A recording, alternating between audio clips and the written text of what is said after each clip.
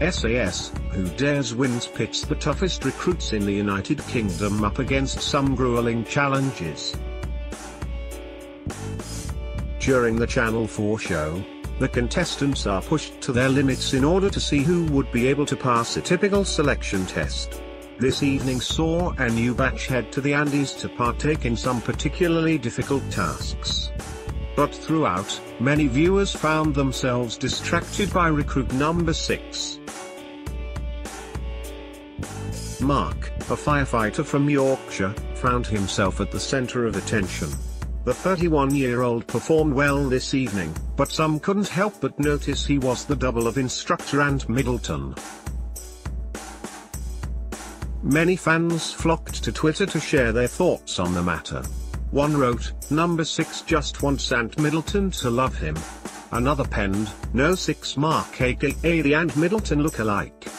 My money is already on number 6, who looks like Ant Middleton, to win this, added a third.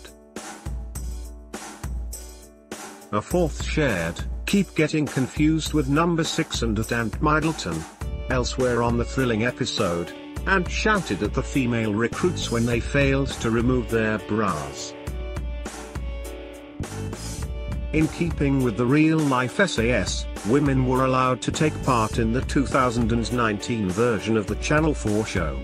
Ant and Foxy sent everyone into a freezing lake one at a time and the recruits were forced to answer questions, showing their mind was tough enough to resist any challenges.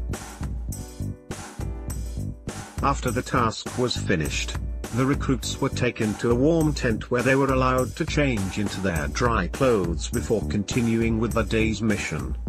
However, some of the girls chose to leave their undergarments on, which eventually resulted in their tops becoming wet from their bras voiceover explained how it was completely necessary for contestants to remove all wet clothes as the freezing temperatures would make life dangerous for recruits in below freezing temperatures. When Ant saw the soaking wet t-shirts, he completely erupted, yelling right in some of the recruits' faces, the former SAS Sol screamed, look at the effing state of you. You've been given a dry effing tent to get ready unsustainable and you've just compromised yourself and your recruits. Take your effing bra off. Ant screamed. SAS, Who Dares Wins continues next Sunday at 9pm on Channel 4.